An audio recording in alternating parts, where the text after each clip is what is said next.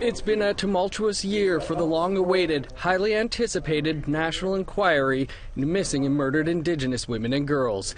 After hosting a number of advisory meetings, the inquiry announced it would begin hearings in May 2017, but there was growing impatience. I get that there's a lot of background work that needs to be done, but we still need to, you know, take care of the families out there. A coalition in Manitoba was already raising concerns over a lack of transparency that was leaving families in the dark. Hearings had not even started, and there were calls for a boycott.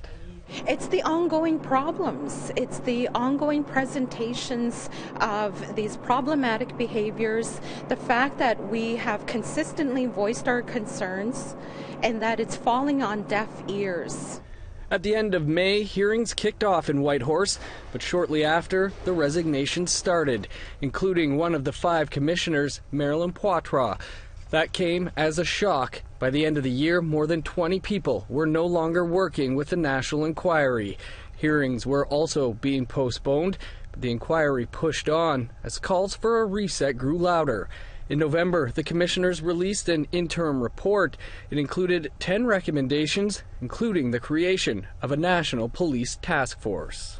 We believe that the appropriate authority to hear this evidence needs to be created immediately. Many families and Indigenous communities do not trust the institutions that are currently in place.